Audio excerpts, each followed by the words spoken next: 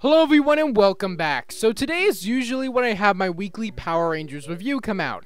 However, this week there is no new episode of Power Rangers because of things surrounding the Kids' Choice Awards. But since last Saturday was the premiere of the new Sentai, Kikai Sentai Zenkaiger in Japan, I thought that it'd be cool to review the first episode of Zenkaiger as a replacement. By the way, if you like this review and want me to review more Zenkaiger in the future, let me know in the comments. Before I talk about this episode, though, I should probably explain my relationship with Super Sentai, because come to think of it, I've never really talked about it before. The short version is that I like Sentai and I've seen some of it, but I'm not really a super fan.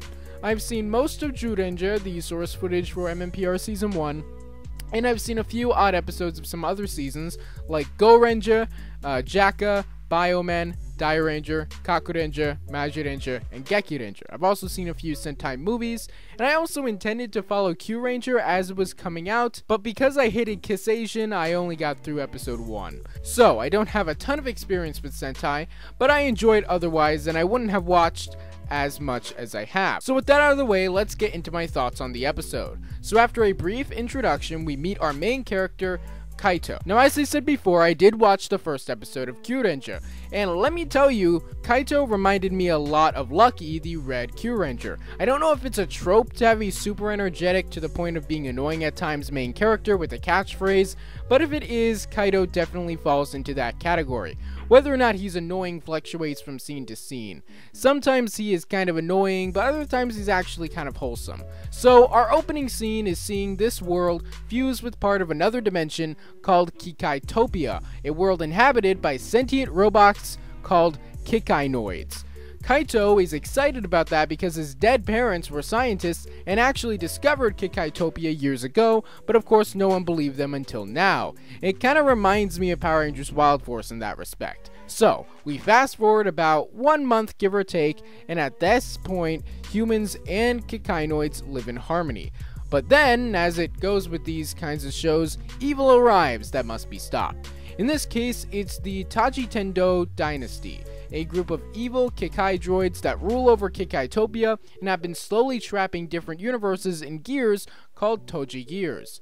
This world is the only one left. Along with this revelation came something that so far has been pretty controversial that every season of Super Sentai exists in its own separate universe as opposed to one. I have mixed feelings about this. While it's definitely a lot nicer and neater to imagine every episode and movie together, it does fix continuity issues. Besides, that universe where they all take place together still exists, it's just that most seasons take place in their own universe, so there's not exactly a main universe for Sentai. While I don't necessarily think this idea should be adopted for Power Rangers, it certainly would explain some of the seasons that don't have any connective tissue with other seasons, and actively say that other teams don't exist. The explanation could be that seasons like Ninja Storm, Mystic Force, and Samurai take place in another universe, but the characters and most of their events still happened in the main universe. There are some strange intricacies with this new Sentai multiverse, but I'll probably make another video talking about all of that some other time. But anyway, the fact that Kikaitopia has partially fused with the world of Zenkaiger means that they can't trap it in a Toji gear, so they have to invade the old-fashioned way which is honestly a really clever way of explaining why such a powerful army that has wiped out worlds in the past will take so long to conquer this one. So, anyway, it's in their initial invasion that we meet Juran. In a similar way to Zyuohger, only the leader is actually human and the rest of the team is from another world. In this case, besides Kaito, all of the Zenkaigers will be Kikainoids. And it seems the first few episodes will introduce them one at a time, with this episode introducing Juran, the red Zenkaiger. He is this fun, loving character that wants to make friends, which means he pairs really well uh, with Kaito. Though there will likely be a more no-nonsense Zenkaiger that's introduced soon, so I'm looking forward to seeing how Kaito and Juran interact with them. As soon as the Tojitendos start attacking, uh, two interesting ideas come up that I can only assume will become overarching themes, and I'm here for them, even though they do come out of nowhere a little bit. The first is racism. Essentially, even though Juran is a nice guy, at first, when he tries to help people not get hurt by the Tojitendos, a lot of people run because they think he's one of them. And I think that the fact that all but one of the Rangers will be Kikainoids, that will be something interesting to explore later on. There's also a theme of classism. The Kikainoids on Earth see it as an escape from the rule of the Tojitendo dynasty in Kikaitopia, so when they attack it's a real bummer, understandably. And when the Tojitendos are first invading, one of the generals outright tells Kaito that what matters is the ruling class and everyone else should be reduced to scrap. It's not much to go off for now, uh, but I'm looking forward to how it's handled later.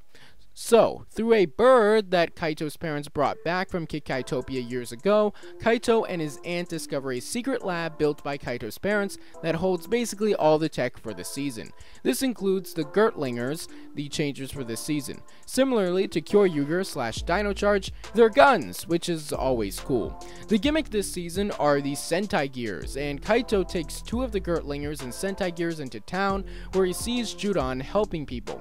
So he gives him one of them and they henshin for the first time. The suits for this season look great and are really unique. Kaito changes into Zenkaiser, whose powers are based on Goranger. It's sleek and has a partial cape and almost looks like a Kamen Rider suit. Juran changes into Zenkai Juran, which is basically based on Daijujin, uh, from Zyuranger, which I assume is a Power Rangers reference of some kind, though it could just be a coincidence that the first two members of Zenkaiger are based off the first Sentai and the first Sentai adapted into Power Rangers. Besides Zenkaiser, the other Sentai suits are based on robots, which is interesting. Outside of being power sources to morph, the Sentai gears can also be used to unlock special powers based on past Ranger teams. In this episode, we see them use gears based on Zyuohger and Ninninger to unlock Eagle Flight and Ninja attacks respectively. It's basically the gimmick from Gokaiger but less expensive. So anyway, this is one of those seasons where instead of the monsters, or rather robots, growing, they are built giant and unleashed when needed. So while Zenkaiser stays on the ground and fights one soldier, Zenkai Juran grows to giant size and transforms into a mecha called Juran Tyranno, which is a robot dinosaur as you'd expect. Personally, I'm not a huge fan of the design, but either way, after that everything's pretty run-of-the-mill. They defeat the Kikainoids, they celebrate what they did, and holy crap, why does everybody have mushrooms on their heads? Okay, well, as ridiculous as that is, I do really want to watch episode 2 now, so I guess it did its job. So yeah, overall good episode and great start to the season. It introduced some good characters, but leaves some for future episodes. It uses some anniversary elements, but is mostly an original story, which I think is a good way to start.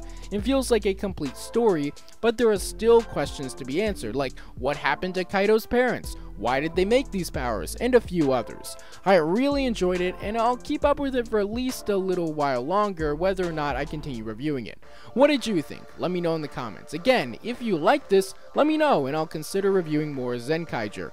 Don't forget to subscribe for daily videos on the franchises you love, and I'll see you tomorrow. Bye.